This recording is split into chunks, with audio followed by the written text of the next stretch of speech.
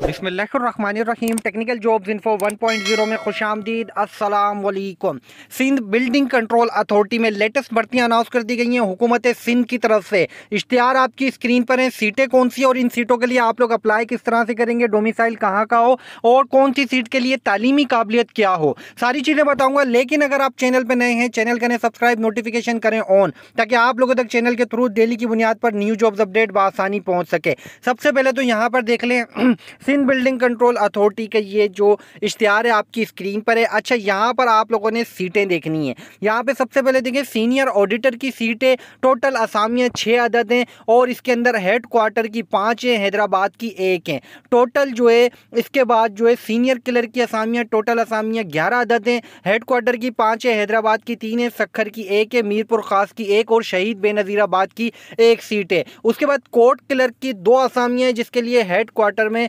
दो सीटें हैं। उसके बाद जूनियर ऑडिटर की सीटें, टोटल पाँच अदद असामियाँ जो है हेड क्वार्टर की तीन है, मीरपुर खास की एक और लाड़काना की एक सीट है। अच्छा इन तमाम सीटों के लिए तालीमी काबिलियत बैचलर डिग्री रखी गई है। किसी भी जो है, आपने किसी भी सब्जेक्ट में की हुई है, उसकी कोई वो जो है, ममानियत नहीं है। उम्र की बाईस से अट्ठाईस साल जिनकी है, वो इन सीटों के लिए अहल हैं। अब अप्लाई किस तरह से करेंगे? तो भाई दरख्वास्त गुजार जो है, अपनी दरख्वास्तें जमा करवाएँगे।